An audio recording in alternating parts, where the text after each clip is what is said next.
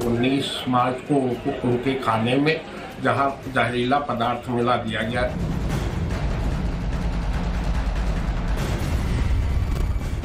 Mafia don Mukhtar Ansari के वकीलों की ये टोली बेहद संगीन इल्ज़ाम लगा रही है। इल्ज़ाम ये कि मुख्तार अंसारी को जेल में मारने की कोशिश हो रही है। मुख्तार अंसारी को खाने में स्लो पॉइजन दिया गया है। जेल में उसके साथ कभी भी कोई भी अनहोनी हो सकती है आपको भी लगता है कि जेल के अंदर उनके साथ कुछ अनहोनी हो सकती है, मुख्तार अंसारी के साथ किसी समय मैं बैठा बात कर रहा हूँ, मेरे साथ हो सकती है, मुख्तार अंसारी के साथ लगातार हो रही है, लेकिन हमारा ये कहना है कि मौत का दिन निश्चित है। यातनाएँ आप दे सकते हो, पीड़ा आप पहुँचा सकते हो, क्षति आप पहुँचा सकते हो। फर्जी एंबुलेंस केस में बाराबंकी की एमपी एमएलए कोर्ट में गुरुवार को जब मुख्तार अंसारी पेश नहीं हुआ और उसके वकील ने अदालत में ये प्रार्थना पत्र देकर कहा कि मिलॉर्ड, मुख्तार अंसारी को धीमा जहर देकर मारा जा रहा है। तो चर्चा का बाज़ार गरमा गया कि आखिर मुख्तार की जान का दुश्मन कौन बन गया? क्या जेल में ही डॉन का दम निकल जाएगा? यूपी की बांदा जेल में बंद माफिया डॉन मुख्तार अंसारी ने एक बार फिर से अपनी जान का खतरा बताया है। उसने कोर्ट में प्रार्थना पत्र देकर ये कहा है कि उसे जेल में खाने में जहर देकर हत्या की साजिश रची जा रही है। स्लो पॉइजन की वजह से उसकी तबीयत लगातार बिगड़ती जा रही है। पूरे शरीर की नसों में दर्द हो रहा है। हाथ पाँव ठंडा पड़ता जा रहा है, घबराहट होती जा रही है और इसके साथ ही ऐसा लग रहा है कि दम निकल जाएगा।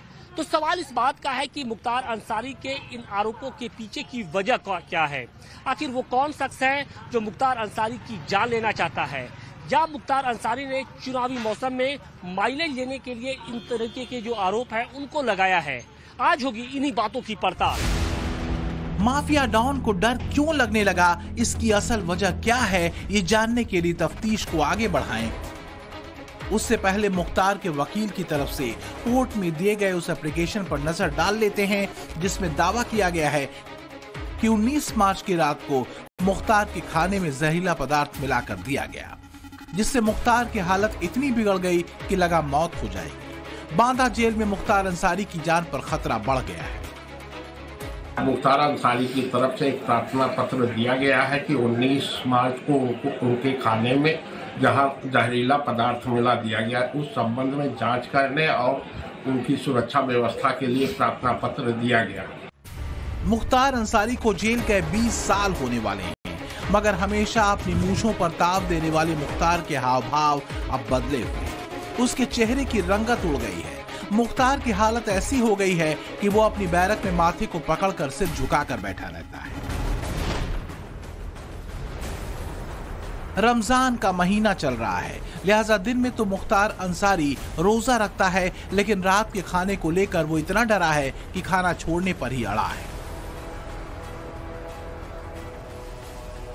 मुख्तार की तरफ़ से जब कोर्ट में स्लो पॉइजनिंग का आरोप लगाया गया और जेल में सुरक्षा की मांग की गई तो बांदा जेल के डिप्टी जेलर वीडियो कॉन्फ्रेंसिंग के ज़रिए कोर्ट में हाजिर हुए। सुनवाई दौरान जेलर ने मुख्तार अंसारी के बीमार होने की पुष्टि तो की, लेकिन स्लो पॉइजनिंग के आरोपों को सिरे से खारिज कर दिया। लेकिन स्लो पॉइजनिंग को लेकर मुख्तार के आरोपों की फहरिस्त लंबी थी। मुख्तार के वकीलों ने भी यही आरोप लगाया कि करीब 40 दिन पहले भी मुख्तार के खाने में धीमा जहर दिया गया था, जिससे खाना चखने वाले जेल स्टाफ से लेकर मुख्तार तक सभी बीमार हो गए। उनको जेल में कई बार जो है, जहर मिला करके जान से मारने के लिए, खाना में जहर मिलाकर जान से मारने की कोशिश की गई।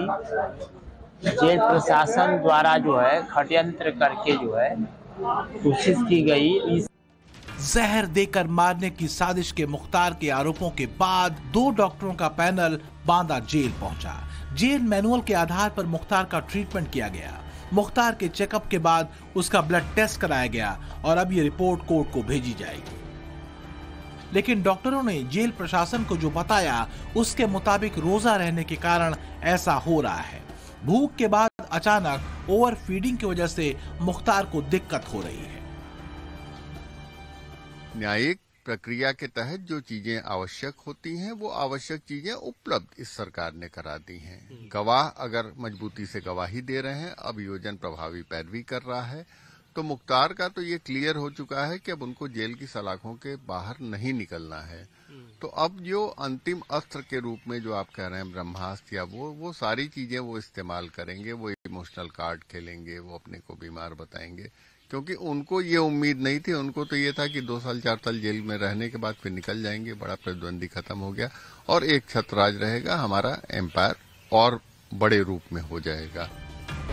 बांदा जेल में मुख्तार अंसारी के ट्रीटमेंट के बाद ये तो साफ़ हो गया कि माफिया डॉन के हाथ पाँव जहर से ठंडे नहीं हो रहे, बल्कि अपने अपराध के साम्राज्य के खंडहर बन जाने और मुकदमों में बैक टू बैक मिल रही सजा से मनबड़ मुख्तार का मिजाज ठंडा हो चुका है। यूपी में 60 से अधिक माफिया इस वक्त सीएम योगी आदित्यनाथ के रडार पे है और इन्हीं माफियाओं में से एक है माफिया डान मुख्तार अंसारी। योगी राज में पिछले 17 महीनों के दौरान मुख्तार अंसारी को कुल आठ मामलों में सजा हो चुकी है और इन मामलों में दो ऐसे केस हैं जिनसे उसे उम्र कैद तक की सजा हुई है। बड़ी बात यह है कि जो दूसरों को रुलाता था, वो खुद अब काल कोठरी में बैठकर आँसू बहा रहा है। लेकिन चौंकाने वाली बात यह है कि मुख्तार अंसारी को जितना डर अपने माफिया राज के खत्म होने का है, उससे कहीं अधिक जिस तरीके से उसे एक के बाद एक मामलों में सजा मिलती जा रही है, उससे वो डरा हुआ है। और माफियाओं के अंदर बैठा हुआ यही डर योगी आदित्यनाथ की ताकत है। मुख्तार अंसारी को पचा ही नहीं पाओगे। योगी और उनके आका भी बिना मुख्तार अंसारी को दिए, उनका नाम लिए, उनका मामला जपे आपको क्या मिलने वाला है? कुछ नहीं, क्योंकि आप कोई काम तो किए नहीं। उत्तर प्रदेश में अतीक के बाद अब मुख्तार ही सबसे बड़ा क्रिमिनल चेहरा है, जिसके खिलाफ फ़िलहाल पैंसठ मुकदमे चल रहे हैं, लेकिन अब मुख्तार का भी परमानेंट कानूनी हिसाब हो चुका है। नौ महीने में मुख्तार को दो बार उम्र कैद की सजा मिल चुकी है। पैंसठ में से सात मामलों में मुख्तार अंसारी को सजा हो चुकी है। उसके खिलाफ 19 मामले कोर्ट में फ़िलहाल विचाराधीन हैं। फर्जी एंबुलेंस केस में बाराबंकी के एमपी एमएलए कोर्ट में अब 29 मार्च को अगली सुनवाई होगी। दो मार्च को एक और गैंगस्टर केस में आजमगढ़ एमपी एमएलए कोर्ट में सुनवाई होनी है। यह मामला साल 2003 में जेलर को धमकाने और रिवॉल्वर तानने का है। जेल किसका है? जेल की व्यवस्था किसकी है? किसकी व्यवस्था है? उसके बाद अगर जेल में वो है और उसके खिलाफ 50 और मुकदमा लिख दिया जा रहा। तो ये अंधेर नहीं है। योगी आदित्यनाथ के राज में मुख्तार की माफियागिरी खत्म हो चुकी है। उसके दहशत का किला ध्वस्त हो चुका है। सितारे गर्दिश में हैं। लगातार हो रही सजा से मुख्तार इस कदर बौखलाया है कि कभी अदालत में रहम की अपील कर रहा है तो कभी जेल प्रशासन और राज्य सरकार पर हत्या की साजिश रचने के संगीन इल्ज़ाम लगा रहा है।